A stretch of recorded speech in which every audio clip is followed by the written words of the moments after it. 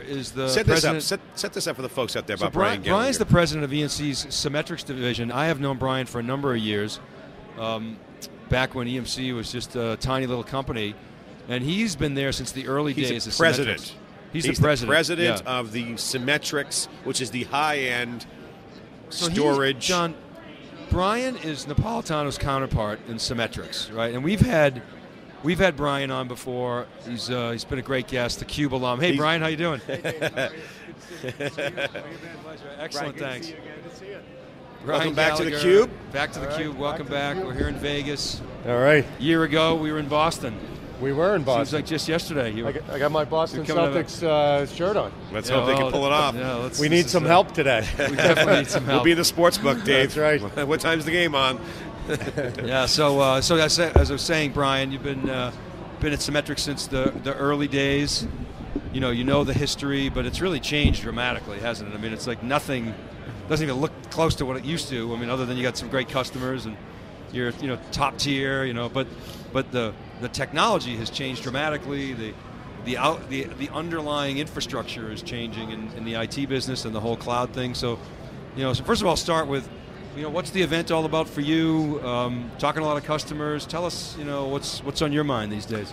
Yeah, so uh, you know, clearly from my perspective, the the whole IT as a service, um, the model, the landscaping is changing dramatically as we speak, and it's just phenomenal about the rate of change uh, that's occurring in our industry. And it's not just the model, but also the technology. Pat talked about it in his keynote. You know, kind of some fundamental shifts in terms of multi-core, flash, virtualization. We're taking all those fundamental shifts and, and you know embedding those types of technologies into our products at EMC. Um, and it's just tremendous. I, I expect change to continue. It's the most change I've seen in the industry. It's a great industry to be in. How is uh, that right affecting? now. uh, how is that change, Brian, affecting your management style with your team? Obviously, we're seeing M and A play a big role in some of the new additions, going way back to Data 2 but more recently, last year, Greenplum and Isilon. We heard from Rich how he sponsored Isilon. Right. So you got the change. You got massive growth. Um, how are you? How's that changing your management uh, uh, approach? Yeah, great question. So uh, you talked about Rich. He helped to drive a lot of the Isilon strategy um, back in, I think, December of 10 or 09. Uh, Pat asked me to, you know, look at the uh, data warehouse and analytics market. So spent a lot of time uh, in that space. Uh, helped to drive the acquisition of Greenplum. Did you sponsor that one? Yeah, I sponsored that one, and uh, just it's it's tremendous in terms of the capabilities. So when we looked at the market, we said, hey, you know, um, you know, it's a big market. You know, it's a very large in terms of products, software, and services. Great market, and very adjacent to what EMC does in terms of our core business. And so uh, when we looked at the technology players in the market, we kind of did a you know broad canvas of what was going on, and the market was kind of um, I call it trifurcated. So I don't know if that's a word or not, but I just is made now. it up, It so is I guess now. it's a word. When was that? What day was that? When you guys uh, started scouring the landscape and you found Greenplum? What time frame was that? How fast did you move? yeah, on that? so basically, Pat uh, said, "Hey, let's go look at this in December of 09.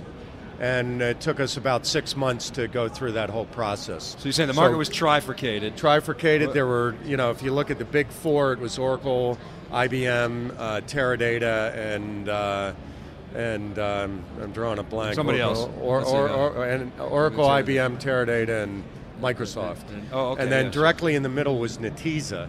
And then, then there was an array of you know kind of uh, emergent players. Vertica, Aster Data, Vertica, Greenplum, Aster Data, Greenplum, ParAccel. ParAccel. Yeah, okay. And what we looked at was a lot of the guys in the emergent player space were, um, you know, they had left some of the bigger companies because they couldn't solve some of the architectural problems with the older mo- models of DBMS systems. And so when we looked at Greenplum, they were the most compelling technology out there. MPP, shared nothing, mixed columnar and row capabilities, and, uh, and just it wasn't just about the IP, the intellectual, uh, uh, you know, the IQ of the people was just tremendous. You know, guys like uh, Luc Lonergan and Scott Yara, the two co-founders of it. So, you know, these guys bring a lot of energy to, you know, to, to EMC. It's great to have them as part of the team. They so, got some mojo too. I mean, they got a swagger. Yeah. Um, they're cocky but not arrogant. Right, You know what I'm yeah. saying? So like they have a, a good, and it's a little bit of a Silicon Valley vibe, but clearly they're taking on Hadoop. Uh, big, big time, and there's, there's an array of competition now. Cloudera being the leader in that area, but, but DataStax and a bunch of other startups are in there. So you know, Pat was very straightforward. He said, "Hey, you know, we're just gonna we're we're entering the market. We're gonna we're gonna go there." Right. And so he didn't really want to address the competition issue, more in the sense of it, that's what our customers want. We're going to have it integrated. Right. Well, Um, what impressed me about Paz uh, last yesterday we were talking about this, and he he said he was getting some a lot of questions around you know why Greenplum, right? And uh, and he said he put that to bed by saying, look, we had the pick of the litter. We chose Greenplum. You were sort of involved in looking at that, so it was sort of interesting to to see that you guys lopped on them. They weren't necessarily the largest of those companies. No, were they? far no, Yeah, no. but uh, There, you know, a couple of them r- r- around the rough, you know, t- r- same size, some smaller. Yeah. Uh, but net net, they were by far the best technical, you know, best IP, best IQ, Yeah. you know, in the. How are you guys handling the change in the marketplace? Obviously, on one end of the cloud, you got Amazon recently crashed, and you know PlayStation Network, and you know it's crashed, and big big problems, train wreck over there. And then on the kind of emerging entrepreneurial side with open source, Hadoop, it's a sandbox, and a lot of innovation coming out. Of that's early. Um, EMC's got to play nicely in these sandboxes. You guys uh, have expanded your partnership, um, aggressive. How are you guys going to play nicely in that environment, or it's not even an issue for you?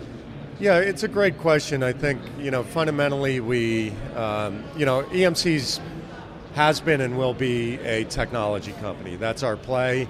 You know, we want to make sure that we partner with the best in the industry.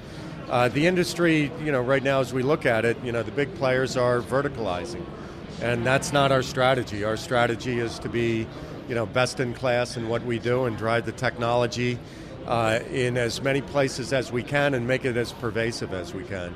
You know, so I, I think going forward, you know, that, and, but it's it, it's tough. I mean, you, you do have to, you know, make sure that you've established yourself as a presence in emerging markets, and so you will be, you know, competitive in in a lot of uh, different environments, and that's just the nature of the business. Dave and I were joking about, um, you know, Pat's on the West Coast, Jeremy's on the West Coast, and they've got this West Coast offense going. And EMC's marketing is picked up. Cloud meets big data is great messaging, kind of builds on last year's uh, theme, so it's got good trajectory. Um, is that the new EMC, nimble West Coast offense, run and shoot, uh, kind of uh, faster? Brian's like the star running back in this. whole That's right. That's the you know, I, yeah, we got we got a great staff uh, to definitely help. But uh, yeah, great shift. Jeremy's brought a lot on you know on- on board. Um, you know, just he uh, understands what marketing's role is, does a great job at it, and you can see a transformation of EMC. And Yeah. uh, it's been Yet great. another one. Yet another one. I mean, this is actually a really good, you know, addition. You look at what, who Joe's brought on staff. It's been great addition to the team, overall EMC team. So yeah, you'll see that. In fact, I just hired a guy uh, uh, from uh, Brocade, Bob Bram, to be my VP of marketing. Bob's on the West Coast as well, so we do have a center center Nice. of gravity out there, Cool. and he'll he'll be you know joined up with. Uh, Obviously, the Greenplum a lot of guys the, are in San uh, Mateo. marketing Guys, yeah. So, yeah, I mean, big West Coast powerhouse. I mean, EMC is always, in my view, being from the New England area, has been that New England culture. Um, but now it's just so diverse. You got all those acquisitions under your belt, and uh, we're wondering what's exciting for you you these days in terms of obviously you know the, the shift to, to the Lightning project and fast data. Um, what's exciting you these days? There's a lot. you know, as I mentioned, the model is transforming, the technology is transforming. Um, you know, there, you, you look at, again, back to the rate of change in the industry. A lot of people, a lot of companies are afraid of change. EMC's never been afraid of change. It's all about change, how we go forward, you know, how we make a difference, how we've been reinventing ourselves. You know, over the past uh, 20 years, you've seen Yeah. you've seen the progression year after year after year Amazing. and we're now in this next phase, uh, you know, really driving the model of IT as a service, and and that to me probably is the most exciting at this juncture. You know, you're talking about Project Lightning, and I know it's sort of this. I'm actually not sure exactly where it fits, but um, it looks like it's designed organizationally to try to accelerate. And, and, and, and I said to Rich, you know, and some, Rich Napolitano, in some ways, I see you as a chef. You got all these technologies in EMC, then you bring them together, and you do a lot of that as well, I'm sure. But I don't know if you remember, so it was maybe a couple years ago now, you had invited me in to say, all right, what are you guys seeing? And one of the things that I talked about was this whole, you know, movement of data in the last 15 years, uh, and function rather, out into the storage array, and now we're starting to see it move back, you know, and flash and persistent flash and that whole so, that whole thing. And so Lightning is sort of a very interesting instantiation of that that that model, that vision. Um, it's changing again. You know, we're seeing that pendulum swing. What what are your thoughts on that? Um, What's the balance? You know, where do you see that going? Yeah, I think there, you know, as you look at, if you look at some of the f- fundamental technology shifts, Pat talked about multi-core flash virtualization. Um, you know, these create, um, you know, opportunities to change the, the game. And uh, when you look at server flash, there's a lot of great opportunities with that to optimize, uh, to take advantage of that, to exploit that for the IT model and uh, but it also presents challenges, right? So it, you know, I think a lot of times uh, people in technology tend to be short-sighted. EMC, having decades of experience in the data center, in the IT industry, understand the challenges, and what we're all about is how do we solve those problems in a very uh, thoughtful manner, delivering you know best-in-class capabilities, but also do it in a way and a manner in which um, you know, we can bring the quality and reliability standards to the market. And so when I look at uh, things like Project Lightning, we think they're very complementary to our strategy overall, you know, in terms of, uh, you know, our overall strategy in core storage um, and what we're doing in, in, terms of block file object. And uh, we think these are very synergistic and, uh, and help us, you know, deal with the problems of technology within the stack. And so this is a, you know, if you will, an important critical building block for us, you know, as we start to transform and as we get, you know, down these paths of, um, you know, that, that Pat talked about related to multi-core flash and virtualization. Yeah, so Symmetrix uh, uh, is obviously the flagship product of EMC. You've seen tremendous changes uh, over the years, and then you've introduced some innovations. Uh, vPlex, you know, vPlex Geo now is you, you announced it previously, but now you're you're actually going to market with it. Um, sort of solve the speed of light problem for some use cases sometimes, right? So it talk, helps. Yeah. so talk about the, the you know what you what you're doing there and how customers might be using it just at a high level.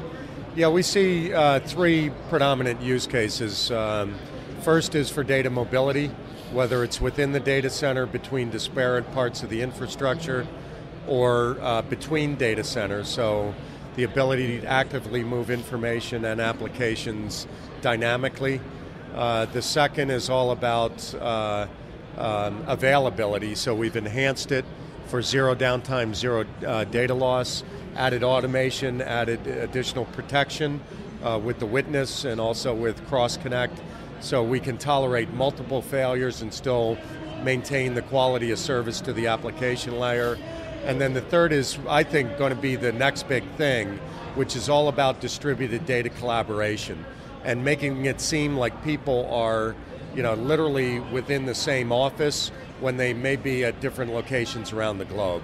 And so we're driving a lot of new thinking in this space um, in uh, various industries, uh, whether it be oil and gas, healthcare, uh, um, you know, uh, intelligent systems, as well as media and entertainment, and looking at how do we, uh, you know, cut down cycle times of collaboration.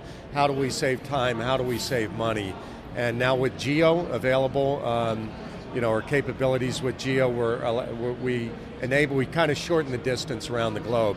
Also, integration with our partners, with our uh, you know WAN partners like uh, Silver Peak and Ciena and Brocade and Cisco you know, and the cache capabilities that we have inherent in vPlex, we can not solve the speed of light, but we can, you know, kind of soften the blow of the speed of light um, through optimization, layer two, layer three virtualization, as well as the cache coherency. Sounds like a lot of software Absolutely. invention. I yeah. mean, you know, it used to be about buses and you know, that's right, and the like. Um, if you had like a hundred dollars of resource to, to allocate, or let's say you know, let's take your whole resource and it's let's assume it's a hundred dollars. How much of that would be in software versus hardware innovation? Uh, for me, for my For your organization, organization, yeah. uh, 100% right now. 100%. If you look, and Rich, uh, you know, Rich and I are in the same boat. Between the two of us, we have about 4,000 engineers worldwide. We have zero hardware engineers between us. So uh, net net of it, I think EMC is about uh, 16,000 worldwide, and we've got about 350 that are doing hardware development. So we're leveraging a lot of the common componentry uh, of our technology, and um, it's really about software, software IP. Brian, what has been the biggest? Um, what uh, you mentioned the change and transformation of EMC and the massive change. What has been the biggest surprise for you, relative to, you know to your organization and around this change? Anything that you want to share? Is it the people issues? Is it the software? What what biggest surprise or aha moment have you had over the past couple years or year? Yeah, I would say the biggest challenge is you know how we scale the company globally. You know, so EMC clearly global company. Uh, we've uh, gotten much more global over the past several years. If you look at our sales mix that we uh, announced in our uh, in our recent earnings uh, announcement, we've shifted that mix, uh, you know, to uh, you know more towards the international side. We're still over 50% domestic in terms of our, our sales mix. So it's really about uh, how do we work together as a company globally, and then as we have acquired, how do we assimilate and integrate uh, the new companies into EMC without destroying the culture of the acquired company. And so it's, I think, you know, EMC probably has done the best job in this area about getting, finding best in breed, uh, getting them plugged into the EMC engine without putting too much burden. I think if you talk to some of the acquired companies, they might say, it's still a burden. You know, there's still it's Compared like drinking. startup, I It's mean- not a burden, but it's like drinking from a fire hose when they come in. you guys have executed pretty well. I mean, extremely well on the integration side. Um, at the analyst meeting in Ja- um, in Ja- January, Joe Tucci said we're the uh, littlest of the bigs, and, and Dave Vellante asked him a question about valuation. We still think you're undervalued Absolutely. relative to the VMware component, and, and we're not just saying that because we're, we're fanboys of EMC. We really legitimately see that in the research, but.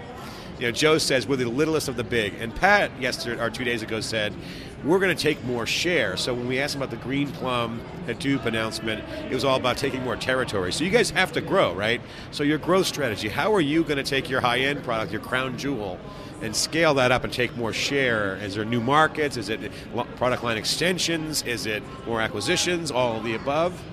Yeah, I'd say you know there's just basic fundamentals of growth. Um, you know, obviously taking share is one. Uh, second is uh, increasing total addressable market is two.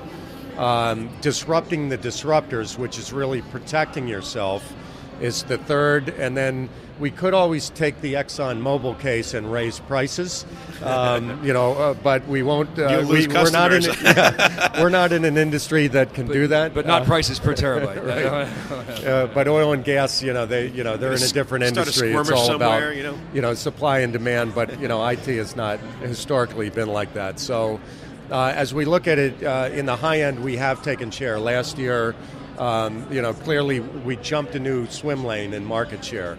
Um, there's new competitors trying to get into the market as well, uh, but we expect to take more share this year in the high end.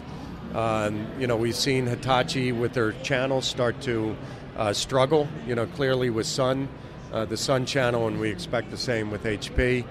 Um, so we'll take shares. We look at expanding TAM. I think there's some growth opportunities that we see.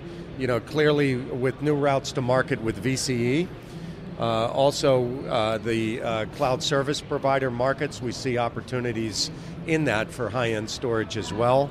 And uh, clearly, vPlex has been a door opener for us, so we expect to do, you know, uh, to have some more uh, opportunities in that How, space how this, as well. how about this big data trend? I think one of Bob Graham's big challenges is going to be how to position for big data. Now, I wrote a piece beginning of the year, and actually I put a line in there. I said that when Brian reads this, if, if he reads it, it's, it's going to tick him off. I said Symmetrix is not big data. I narrowly defined big data around, you know, dispersed, Hadoop-like like data. So, um, is Symmetrix big data? Am I wrong about that? Yeah, I think it plays in both space of cloud and big data.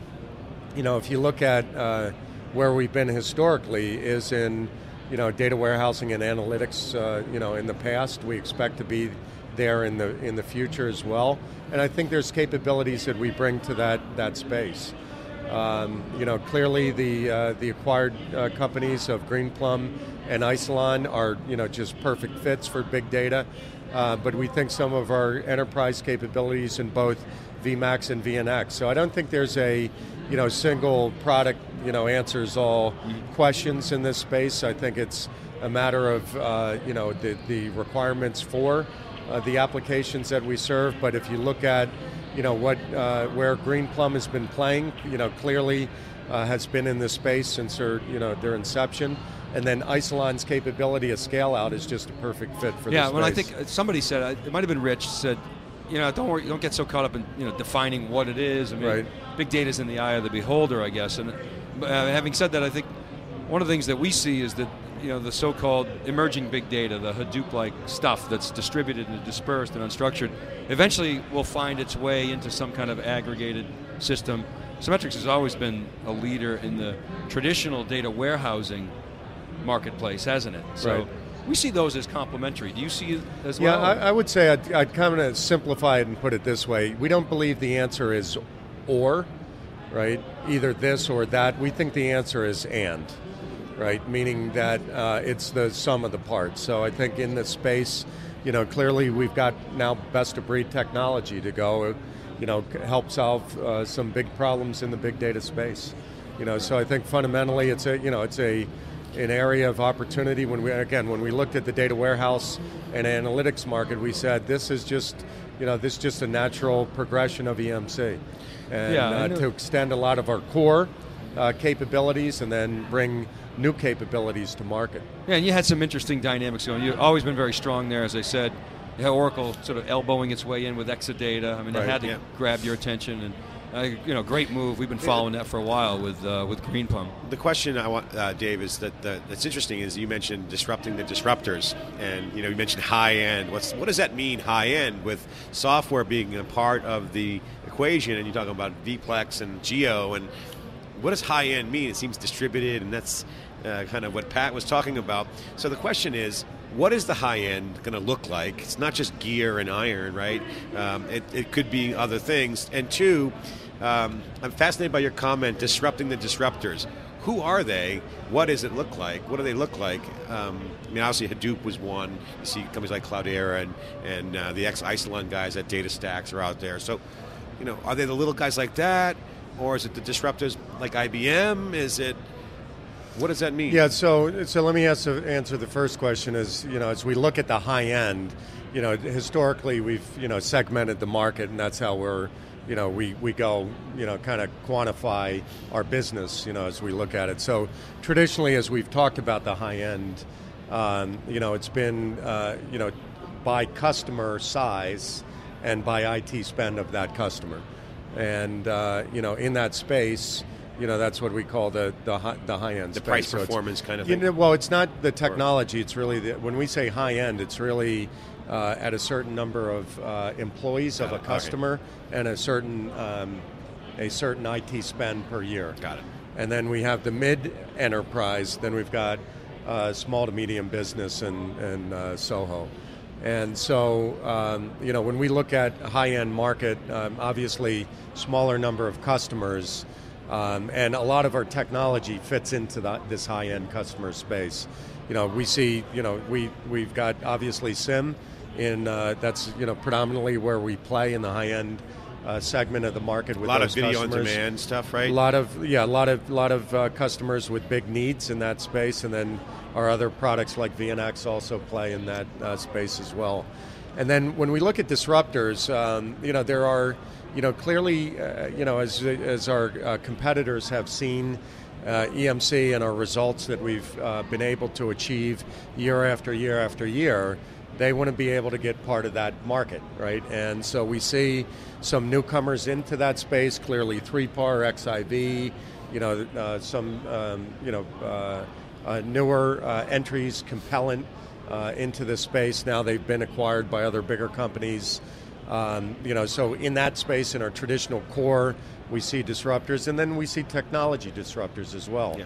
Um, Hadoop is a good example of that. We want to be the leader in that space, and then and we also in see early too. You're seeing early movement there, Right, and So- then we also see business model disruptors, um, you know, that we need to make sure that we're aligned to as it looks to cloud service providers, you know, and making sure that we're, you know, part of that and supplying technology into that market, um, you know, and also, uh, you know, as we look at the competitive space with, you know, Google and Amazon and others, you know, we got to make sure that we're focusing our resources in the right area. Are you guys? Um, I know Pat mentioned it, and Joe talks about this. Joe's a strategist. Joe Tucci's a, a great strategist. You can see, you know, his mind working. Great CEO.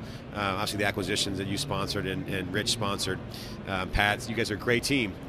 But you got this EMC acquisition machine. What about EMC Ventures? I mean, there's been some talk lately about EMC Ventures, big Silicon Valley, West Coast offense that we've been saying um, with marketing, but also there's been some discussions about investments. Is that going to be something you guys will continue to do? It's, is that going to be internal to EMC? Is it going to be strategic investing?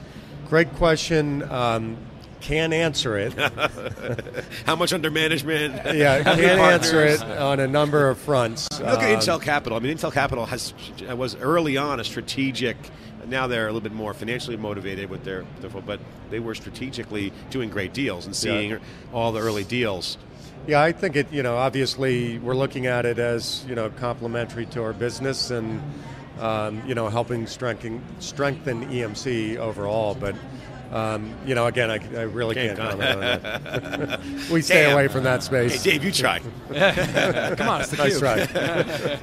I don't know on, if it's a Pat cube. or, We're having I don't fun, know if Pat or. Joe answer that. But Brian's going to say can't answer. Yeah, yeah. Judicious Joe, Joe, decision. Don't say anything. Right. Um, yeah, I mean, it's innovation. It's interesting. You know, the Hadoop thing was for me is a great uh, signal for me about the new EMC because you know that's something that traditionally is not an EMC maneuver to get in that early um, and play in the sandbox like that. So I'm finding that to be an interesting and aggressive move by EMC to get in there early like that. Yeah, I think uh, uh, you know again, great opportunity in a great market. Yeah. You know that Yeah. there's going to be tremendous growth, Cool. And so you know I think it's a you know this was perfect timing. EMC World, you know, announcing the Hadoop uh, strategy with Greenplum and the Hadoop appliance. It's really going to be, I think, a big. Um, you know, help to our customers uh, with big data problems and a big help to EMC as well. All right. All right, we're here with Brian Gallagher, uh, president of EMC's Enterprise Storage Division and uh, Cube alum. Brian, thanks for coming back and talking to us. You've been Two years you- in a row, man. Yeah, two years in a row. You, you- you've seen the transitions. I mean, you're sort of you, you, you of all people have seen the sort of the original EMC sort of evolve into what we have now. It's just been Yeah. phenomenal to watch. We appreciate all your support coming on the Cube. Thank you. Thank you. Thanks All for right. having me. I appreciate All it. right.